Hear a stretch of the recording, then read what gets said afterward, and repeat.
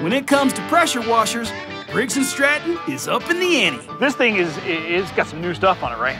It's got not only a standard high pressure mode, but it's also got a high flow mode that can do things that no other pressure washer can do. Okay, like what? Like reach a second story window, uh, be able to clean delicate surfaces, like your patio furniture or even your vehicle. Let's start with extended reach. How far back can I be? Oh, you can be up to about 30 feet away and still hit the surface with impact.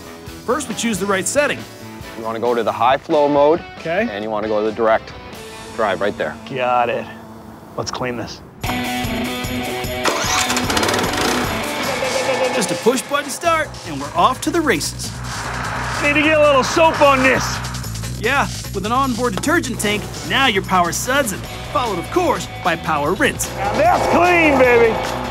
Perfect for extended reach, but what if you need to be a bit more delicate fighting the dirt? Well, I found me something else that needs to get some cleaning.